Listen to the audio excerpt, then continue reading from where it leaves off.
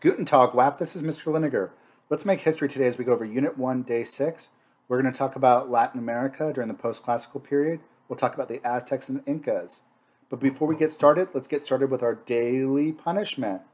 Heavy, smaller babies may be delivered by a stork, but heavier babies need a crane. stork, crane, they're both birds. All right, your key terms for today. Huitzilopochtli, Quetzalcoatl, Aztec, Inca, Cusco, Machu Picchu, Incan roads, Inti, Viracocha, Chinampa, and terrace farming. We're going to go over the political characteristics of the Aztec and Incas, the religious characteristics of the Aztecs and Incans, and the economic and social characteristics of, you guessed it, the Aztecs and Incans. Let's get started with the early Aztecs. They were known as the Mexica people. They were located in central Mexico around the mid 13th century. They're going to settle in Tenochtitlan, which is modern day Mexico City. That's a different city than Teotihuacan. They'll settle around 1345. The Aztecs will become an empire. They're going to uh, quickly conquer uh, surrounding tribes around them. They'll run military campaigns against neighboring societies up until the mid 15th century. They'll rule over 12 million people and most of Mesoamerica. They'll demand tribute from the people they conquer. Uh, the tribute obligations were very oppressive. The Aztecs were not the nicest civilization. The empire had no bureaucracy or administration. They would just demand tribute, like goods, wealth, from their 489 subject territories that they had conquered. In the Mexican social structure, the warriors were at the top of the social structure, the soldiers, the fighters. Uh, women had no public role, but they did enjoy high honor as mothers of warriors. Priests were also ranked really high up. They were the elite. The priests were the ones that did the bloodletting, the human sacrifice, because the Aztecs did a lot of human sacrifice in their temples. Cultivators and slaves uh, would pay tribute and provide labor services for public works. There was a large number of slaves. A lot of times they worked as domestic servants and sometimes in agriculture. You also had craftsmen and merchants. They did have some prestige, and the Aztecs did trade with parts of Central America. One of the agricultural systems the Aztecs developed is the Chinampa. Their capital of Tenochtitlan was located in the middle of a lake. So they had like bridges connecting it. And to grow their crops, they like had these kind of like floating islands uh, in the middle of their lake, small rectangular areas of fertile arable land to grow crops, in the shallow lake beds in the Valley of Mexico. And there's a little picture to show, show, show Chinampa. So this is one of the things that they did to feed their people. Let's talk about the Aztecs' religion. They did do uh, ritual bloodletting. It was common to all societies. Their major gods were Huitzilopochtli and Quetzalcoatl. Uh, was the war god. They would offer human sacrifices uh, to make sure that they did good in war. This is kind of different than some other anthropomorphic polytheistic society where you offered like animal sacrifice to get good crops. They would offer human sacrifice to be successful in their wars.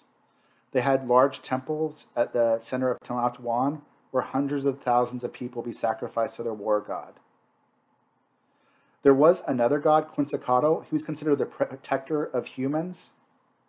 He was tricked by some gods. He fell and kind of disappeared.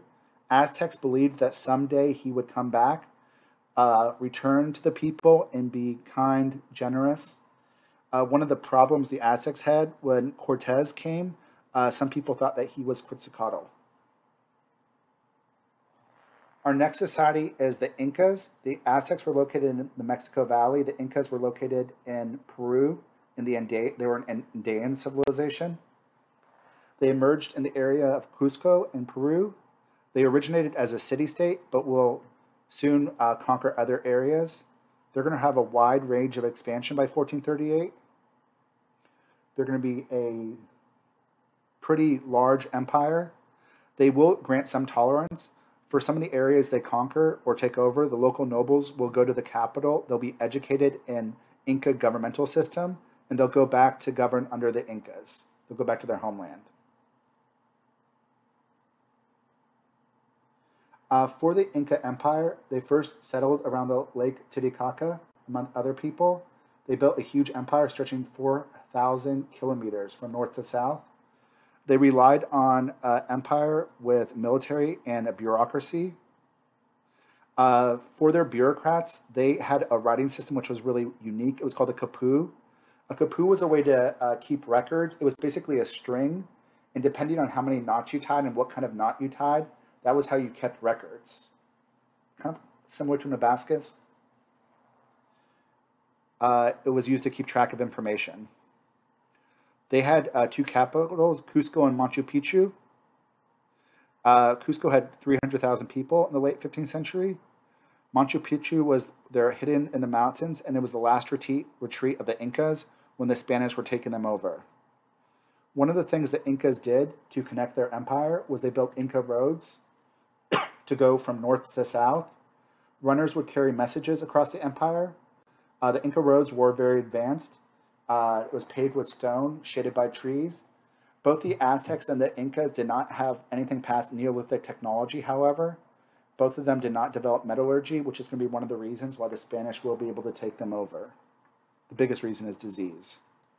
This right here is a recreation of a quipu. This right here shows the Inca Empire and the Inca roads. Pretty impressive. In the Inca society, there was no large merchant class, not much specialization. There was no private property for the Incas. The government owned everything. Sometimes we call them like proto-socialist. The chief ruler was considered as descendant from the sun gods. After death, he was mummified. When a new ruler was chosen for the Incas, they would get out all the mummies from the previous rulers and they would parade them down, like, you know, in their capital city. Aristocrats and priests were uh, considered high up there. The Incas had some human sacrifice, but it was not as much as the Aztecs. The peasants would deliver portions of their products to the bureaucrats.